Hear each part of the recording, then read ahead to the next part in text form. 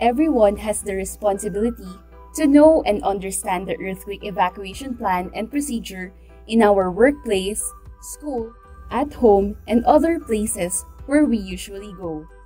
But when is the time to evacuate? Earthquakes can happen anytime and anywhere without warning. During a strong earthquake, duck, cover, and hold.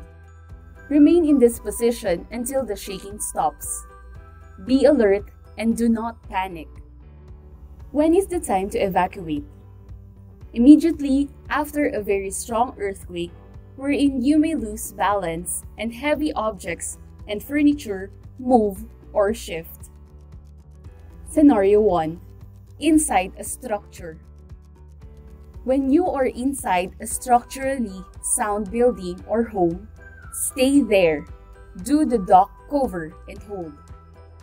Once the shaking stops, take the fastest and safest way out. Get out in a calm and orderly manner. Do not rush to the exit. Use the stairs, not the elevator. Scenario 2 Outside the building. Move to an open space. Stay away from trees, power lines, posts, buildings, and walls. Move away from steep slopes. Scenario 3 Near the shore. If you felt a strong earthquake near the shore, immediately move to higher ground. Tsunami might arrive within minutes. After a strong earthquake, be prepared for aftershocks.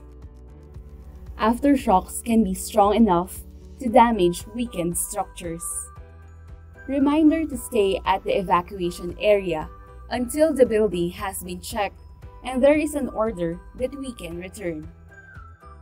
We can prepare ourselves, our families, and our communities by practicing earthquake response and participating in regular earthquake drills.